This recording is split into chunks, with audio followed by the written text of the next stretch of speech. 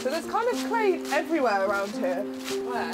Um, we just like look for kind of like literally that yellow stuff. That is that is clay and slightly different colour. They'll have slightly different minerals in it. Yeah. Should we go have a look somewhere else? Yeah. Right where we are, the hill we're on, there's just like clay everywhere. What am I looking for? So we're looking for often clay in the wild. They have this kind of yellowy browny color um, which is from the specific minerals in it. Yeah, you can give it a poke. It's like chocolate mousse. It is, isn't it? And the texture of it is another really good way of like finding it. Like if you get your bit of clay and like squidge it between your fingers, Uh-huh. it kind of like takes a shape, doesn't it? yes, it does. And it's holding that form.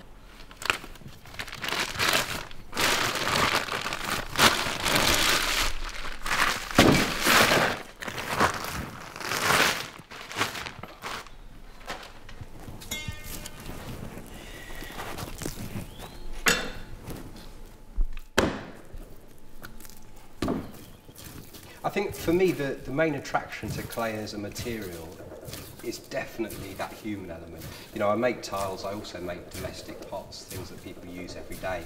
And I think the fact that we live in clay houses, we eat off clay plates, we use mugs, it's such an integral part of the way that we live as humans, you know, in, in society. I, and I love that. I love the fact that, you know, people can relate to the things that I do.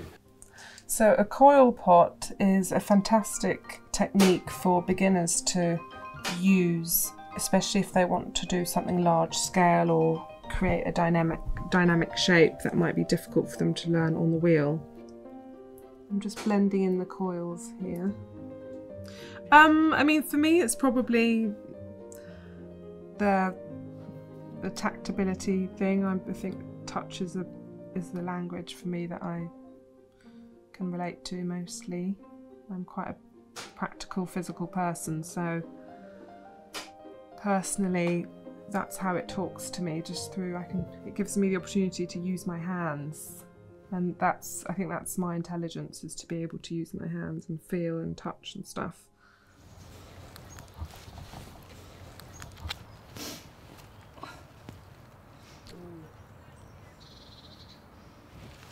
Okay.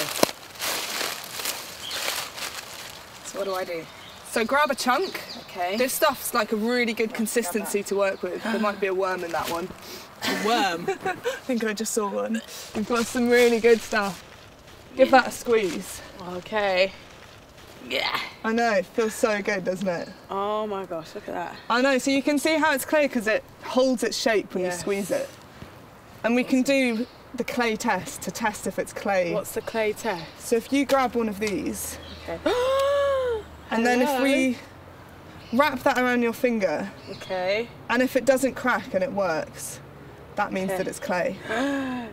yes, Hey! Look at that. nice. It goes with New my ring. clothes. Should we find another spot? yeah. Find some more.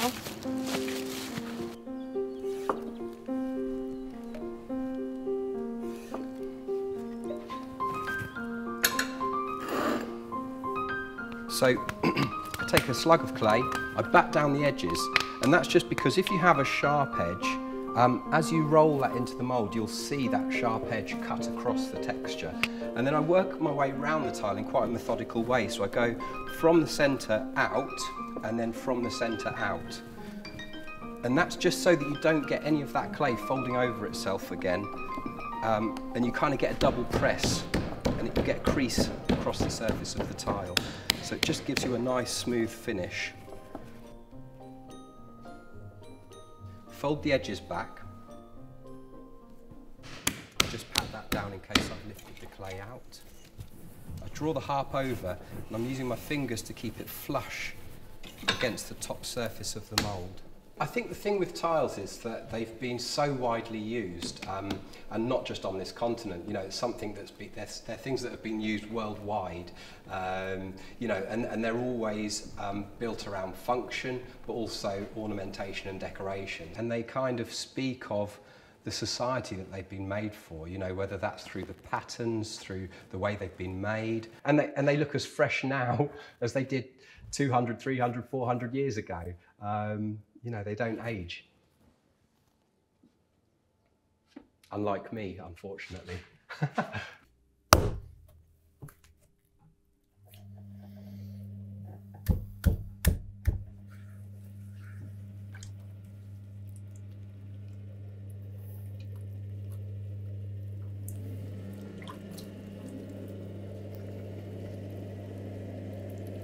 Fundamentally, you are actually learning to work with nature and the, the four elements earth, fire, water, air. Um, and yeah, you, there is a balance to it. You are learning how to uh, walk that fine line of when it's too dry, too wet, too hard, too soft, too hot, too cold. All of these things um, you you gain a sensitivity to. And once you really understand the material inside out, this becomes a really enjoyable dance with the material.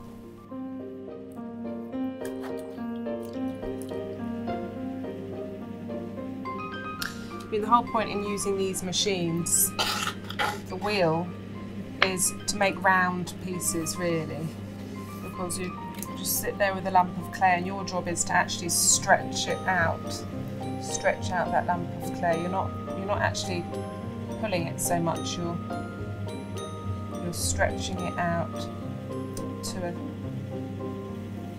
to your desired thickness, and then you're adding form as you go. Do you want to make a little pinch pot? Yes, That's what we I call this. would love to. What do you want to make it out of? The one, the clay we've got there. Yes. Yeah. Okay. What do I do? So grab a little bit of clay. Okay. I'll do it with some of this. Yes, please. Support me. I am. I am. Get lots of clay. Rip that bit's got a big bit of mud, so I'm going to rip that off. Right. So we can't mix it. Well, we can, but it's better to have it like more Okay. clay. And then we're going to roll it like into a ball in the palms of your hands. Nice and squishy. Mm. And then you shove your thumb into the middle Okay. like this, Yep. And then you just squeeze around the edge and pinch. Ooh. And there we go. We've got a little a little bowl, Ah! a vessel. I just can't believe I've just gone and done that. So how do I make it hard? So then you have to you wait for it to dry out completely, just in the air, and then you put it in what's called a kiln, which is like an oven, like on steroids that goes up to like a thousand degrees, and then it goes from being this mushy thing to being this ceramic thing that's going to be around forever. Could I stick this in my oven? You can, but it will, it like won't really. It'll just dry out, but it would if you then put water on it, it will just turn back into clay. The oven doesn't, ah. unless your oven goes up to like 600 degrees, does it? No.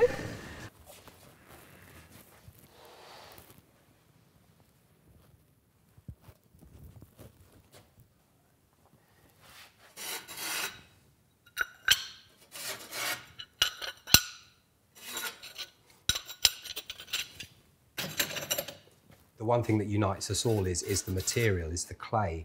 And, and, and the thing that's so lovely about that clay is whether you have any knowledge, any skills, um, whether you've ever touched it before in your life, it's something that you can pick up, it's malleable, you can work with it. And once that clay's fired, it's permanent. It will last for thousands of years, you know. And, and that transcends any idea of skill, knowledge, environment, class, you know, anybody can use that clay and can make things with it. And that's the thing that I love most about it. I would say if you're starting out and, and learning how to work with clay, really um, build a relationship with the clay and just get to know the material and start to understand it. It's talking all the time, and you've got to be listening. Learning how to work with clay, it can be a, quite a long process. Um, but it's really rewarding at the end of it when you're satisfied with what you've created and you're really at one with yourself. So it's a really beautiful journey between you and the clay.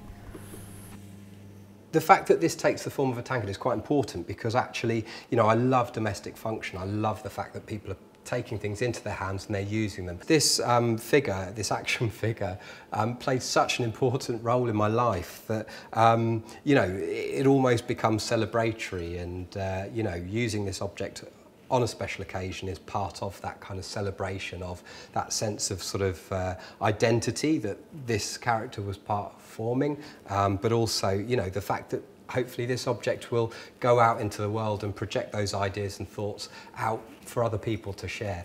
Um, essentially was about that idea of the other. You know, I growing up, it was the N word. You know, I, I wasn't conscious of being other until I was told I was by society. You know, and that's something I'm still trying to come to terms with and understand. You know, even now into my 40s. The aim is to is to make it symmetrical when people learn the wheel. That's the main difference between like hand building. I mean, you can learn to hand build with perfection in like some of the artists in the show, like Madeline, she does. It's very streamlined, but uh, generally people aren't patient enough. Um, so the wheel is really good for getting it symmetrical. Um, me personally, I find I'm a bit bored of that now. I've spent too many years making straight pots, so my pots are straight to the, I'd say they're kind of straight to the eye, but they're, they sometimes they're a bit, sometimes I'll purposely scrunch them up and make them a bit wobbly or knock them a bit, you know, drop them and pick them back up. but, um, it's all part of the charm.